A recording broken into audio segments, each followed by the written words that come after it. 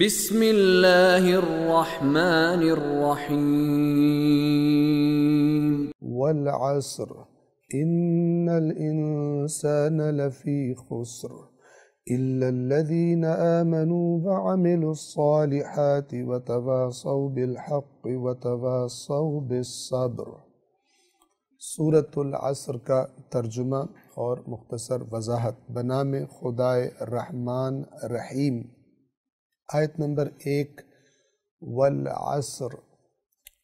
قسم ہے زمانے کی۔ دو، ان الانسان لفی خسر۔ یقیناً انسان خسارے میں ہے۔ سب سے پہلے عصر کا معنی دو طرح سے کیا گیا ہے۔ بعض نے اس سے نماز عصر کا وقت مراد لیا ہے اور اس کی مناسبت یہ بیان کی ہے کہ جو نماز عصر کا وقت ہوتا تھا، جس زمانے میں یہ سورہ مبارکہ نازل ہوئی، اس زمانے میں عام طور پر دکاندار حضرات، تاجر حضرات اپنی اپنی دکانوں کو بند کر رہے ہوتے تھے اور حساب کتاب کر رہے ہوتے تھے اور اس کی وجہ سے عصر کی جو نماز ہے، اس کے بارے میں مثال کے طور پر غفلت کا شکار ہو جاتے تھے اپنے دنیاوی کاروبار کے حساب و کتاب کو کرتے ہوئے۔ اور لہٰذا یہ سورہ نازل ہوئی کہ یہ عصر کا وقت، اس وقت جو تم عمل کر رہے ہوتے ہو اور نماز کو چھوڑ کر تم اپنی دنیا کے حساب کتاب میں لگے ہوتے ہو، یہ گواہی دے رہا ہے کہ انسان گھاٹے میں ہے۔ یعنی وہ جو دنیا کے پیچھے دوڑ کر دنیا کے امور کو ترجیح دے کر اللہ تبارک و تعالیٰ کے ذکر سے، اس کی یاد سے، اس کی نماز سے غافل ہو گئے ہیں۔ یہ لوگ خسارے میں ہیں۔ تو بعض نے یہ مناسبت بیان کی اور بعض نے یہ بیان کیا کہ عصر سے مراد وقت نماز عصر نہیں ہے، بلکہ عصر سے مراد زمانہ ہے۔ یعنی جب سے انسان اس دنیا میں آیا ہے، اس وقت سے لے کر تا قیامت ہر اس انسان کے لیے کہ جس وقت بھی وہ اس سورہ کی تلاوت کرتا ہے، اگر وہ انسانیت کی تاریخ پر گزشتہ زمانوں پر، موجودہ زمانے پر نگاہ ڈالے، تو یہ زمانہ، یہ تاریخ انسانیت اسے اسی بات کی گواہی دے گی کہ جو اللہ تبارک و تعالی اگلی دو آیات میں ارشاد فرما رہا ہے۔ بس والعصر یعنی قسم ہے زمانے کی۔ کیا مطلب؟ یعنی زمانہ گواہ ہے، زمانہ گواہی دے رہا ہے۔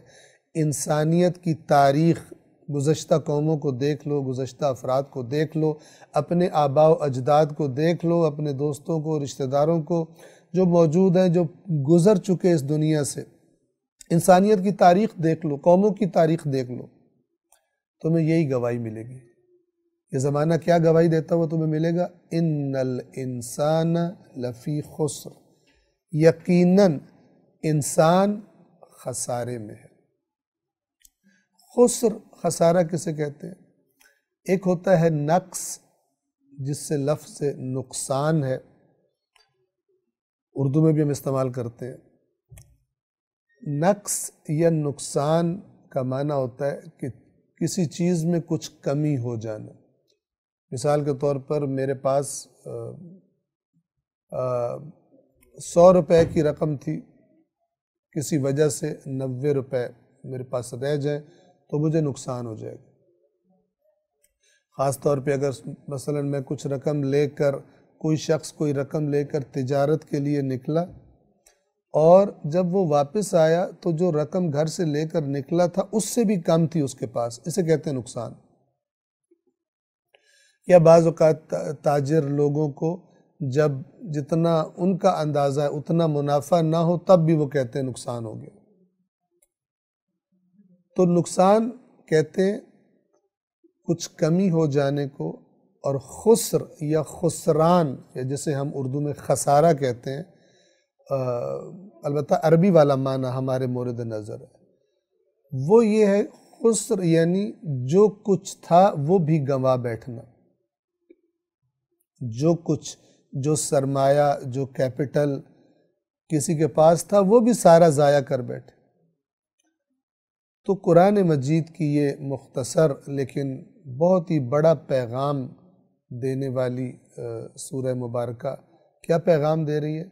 کہ تم اگر ساری انسانیت کی تاریخ پر نگاہ ڈالو، زمانے پر نگاہ ڈالو، تو وہ تمہیں گواہی دیتا ہوا ملے گا کہ انسان خسر میں ہے۔ خسارے میں ہے۔ یعنی انسان اپنا بہترین سرمایہ ضائع کر رہے ہیں۔ سوائے ایمان والوں کے۔ جیسے کہ اگلی آیت میں بات واضح ہو جائے گی مزید۔ نقصان میں کون ہے؟ جو ایمان نہ لائے اللہ کے پیغام پر، اللہ کے رسول پر، اور اس ایمان کا جو تقاضا ہے عمل صالح، وہ نہ کرے۔ اور پھر عمل صالح کرنے کے لیے سرات مستقیم پر جب انسان چلتا ہے تو مصیبتیں آتی ہیں، مشکلات آتی ہیں۔ اب یہ جو مومنوں کا گروہ ہے، یہ ان مشکلات سے جب دو چار ہوتا ہے تو ایک دوسرے کو تلقین کرتے رہتے ہیں، تاکید کرتے رہتے ہیں کہ حق کو نہیں چھوڑنا اور مشکلات کے مقابلے میں صبر کرنا ہے۔ ایک دوسرے کے ساتھی ہوتے ہیں۔ ایک دوسرے کے خیر خواہ ہوتے ہیں، ایک دوسرے کو بھلائی کی دعوت دیتے ہیں، ایک دوسرے کو برائی سے منع کرتے ہیں۔ اس گروہ کے علاوہ باقی تمام انسانیت، باقی تمام انسان، ان کی حالت کیا ہے؟ جو سرمایہ اللہ نے انہیں دیا تھا، زندگی دی تھی جسم دیا تھا، صلاحیتیں دی تھی عقل دی تھی، آنکھیں دی تھی، کان دیے تھے، زبان دی تھی، سب کچھ عطا کیا تھا، یہ سرمایہ تھا۔ یہ ہم نے خود حاصل نہیں کیا تھا۔ یہ کسی نے دیا تھا ہمیں کہ اس سرمایہ کو استعمال کرو اور اگر صحیح استعمال کرو گے، میری جو جو یہ سرمایہ دینے والا تمہاری زندگی کے لیے جو پلان تمہیں دے رہا ہے، جو شریعت تمہیں دے رہا ہے، اگر اس کے مطابق چلو گے اور ان چیزوں کو، یہ جو سرمایہ تمہیں دیا ہے، جو نعمتیں تمہیں دی ہیں، جو رزق حلال مثلا تمہیں دیا ہے، اس کو اس طرح استعمال کرو کہ دنیا بھی تمہاری باعزت اور اچھی گزرے اور آخرت بھی تمہاری بہترین ہو جائے گی۔ ابدی اجر عطا کروں گا۔ لیکن جن لوگوں نے اللہ کے اس پلان کو ریجیکٹ کر دیا، کہیں اور سے زندگی کا پلان لیا کہیں اور سے اقدار زندگی حاصل کی، کہیں اور سے تصور کائنات لیا، کہیں اور سے تصور زندگی لیا تو خسارے میں پڑ گئے۔ کیوں؟ ہر گزرنے والا لمحہ زندگی کے سرمائے کو کم کر رہا ہے۔ ہر سالگرہ کا جشن، ہر برتھ ڈے پارٹی لوگ تو اس پہ خوش ہو رہے ہوتے ہیں بعض لوگ کلیپنگز کر رہے ہوتے ہیں، کھا پی رہے ہوتے ہیں لیکن وہ برتھ ڈے بتا رہی ہوتی ہے کہ جتنا مولت تم لے کر آئے تھے، ایک سال کم ہو چکا ہے۔ اور جو عاقل ہوتا ہے، اس کو جب یہ سگنل ملتا ہے کہ تیرے تیرے کھیلنے کا ٹائم تیری گیم کا ٹائم اب کم رہ گیا ہے، تو وہ تو اور ہوشیار ہو جاتا ہے۔ اور زیادہ آپ نے دیکھا ہوگا، آخری منٹس میں اگر دو ٹیمز میں میچ ہو رہا ہو، مثلا فٹ بال میچ ہو رہا ہو، اور وہ مثال کے طور پر دونوں کے یا وہ برابر ہوں اور یا یہ کہ ایک ٹیم ایک گول سے آگے ہو، تو دونوں ٹیمیں ان آخری اس آخری آخری منٹس میں جیسے جیسے اینڈ کا ٹائم، میچ کے اینڈ کا ٹائم نزدیک آتا ہے، اختتام کا ٹائم نزدیک آتا ہے، تو دونوں طرف کے کھلاڑی پورا زور لگا دیتے ہیں کہ اس آخری ٹائم سے اپنے حق میں استفادہ کر لیں۔ تو ہر گزرنے والا سال، ہر سال گرہ کا جشن ہم سے کیا کہہ رہا ہوتا ہے؟ ہم سے کہہ رہا ہوتا ہے کہ غافل، تجھے گھڑیال یہ دیتا ہے منادی گردوں نے گھڑی عمر کی ایک اور گھٹا دی۔ یہ جو گھڑی سگنل دیتی ہے، یہ کہہ رہی ہوتی ہے کہ تمہارا ٹائم کم ہو گیا ہے اور زمین تم پر تنگ ہوتی جا رہی ہے۔ وقت جتنا لے کر آئے تھے، جتنا اللہ نے تمہارا اس دنیا میں رہنے کا وقت رکھا تھا کم ہو گیا بھاگ دوڑ کر لو۔ فستبکل خیرات نیکیوں میں سبقت لے جاؤ تاکہ خسارے سے بچ سکو۔ خسارہ کیا ہے؟ انسان مر جائے۔ نہ آنکھ اس طرح استعمال ہوئی جس طرح خدا نے چاہا تھا۔ نہ کان استعمال ہوا، نہ زبان استعمال ہوئی۔ نہ جو اللہ نے رزق ان ان ان ہاتھوں سے، ان، اس عقل سے اللہ کی دی ہوئی ان چیزوں کو استعمال کر کے جو کچھ کمایا تھا، اسے بھی خدا کے راستے میں استعمال نہ کیا۔ اب جب مرا تو سب کچھ چلا گیا۔ سرمایہ ضائع ہو گیا۔ نعمتیں ضائع ہو گئی اس معنی کی طرف یہ آیت اشارہ فرما رہی ہے اور اللہ انسانیت کی ساری تاریخ کو اس پر گواہ بنا رہا ہے۔ اگر ہم عصر کا معنی وسیع لے لیں۔ پس قسم ہے زمانے کی یعنی زمانہ گواہ ہے، ان الانسان لفی خسر۔ یقیناً انسان خسارے میں یعنی سب کچھ ضائع کر رہا ہے اپنا۔ سارا سرمایہ اپنا ضائع کر رہا ہے۔ اللہ سے کٹ کر، اللہ کے بتائے ہوئے قانون سے ہٹ کر، نافرمانی کر کے ضائع کر رہا ہے اپنے آپ کو۔ کون اس ضائع کرنے اور ضائع ہونے والے گروہ میں شامل نہیں ہے؟ آیت نمبر تین۔ الَّذِينَ آمَنُوا، سوائے ان کے جو ایمان لائے۔ ایمان کیا ہے؟ دل کے اندر سے تسلیم کر لینا، دل سے مان لینا، دل سے قبول کر لینا۔ اور جو روایات اہل بیت اطہار سلام اللہ علیہم میں آیا ہے، اس کے مطابق کیا ہے؟ کہ ایمان تین چیزوں پر مشتمل ہے۔ زبان سے دل سے مان لینا اور زبان سے اقرار کرنا۔ یعنی جو زبان کہہ رہی ہے، اقرار کر رہی ہے، دل میں وہی ہے۔ اور جو دل میں ہے، زبان سے بھی اس کا اقرار کر رہا ہے۔ اور تیسری چیز، عمل کرنا۔ اور قرآن نے کیا کہا؟ الدین آمن سوائے ان لوگوں کے یعنی خسارے میں کون لوگ نہیں ہیں؟ وہ لوگ جو ایمان لائے وہ الصالحات۔ اور عمل کیے، کون سے عمل؟ عمل صالح۔ وہ عمل الصالحات۔ اور پھر جب یہ ایمان لا چکے، اور عمل صالح کے راستے پر جس طرح اللہ نے بیان کیا تھا، عمل صالح اس دین کی تحریک میں شامل ہو گئے، اپنی ذمہ داریاں ادا کرنے لگے تو پھر دیکھا کہ مشکلات کا سامنا ہے۔ آپ اللہ کے نیک واقعاً دین فہم، ایک وہ نیک ہوتا ہے جو رہبانیت ٹائپ کا دین اپنا کے بیٹھا ہوتا ہے۔ یعنی اس کے دین کا، اس کی دنیا سے کوئی تعلق نہیں ہوتا۔ بڑے وظیفے کرتا ہے، بڑے ورد کرتا ہے، بہت نوافل پڑھتا ہے۔ لیکن معاشرے کے ساتھ اس کے دین کا کوئی تعلق نہیں، اس کا انفرادی دین ہے۔ یہ تحریف شدہ بڑا خطرناک دین ہے۔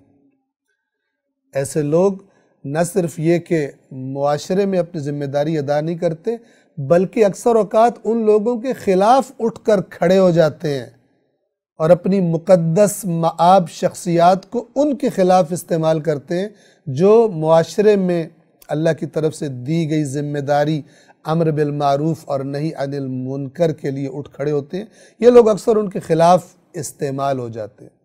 اور چونکہ اپنی عبادات کی وجہ سے، اپنے وظائف و فلان کی وجہ سے بڑے مقدس معاب ہوتے ہیں، تو لوگ ان کی باتیں پھر سنتے بھی ہیں، متدینین کے درمیان تفرقے کا باعث بن جاتے ہیں۔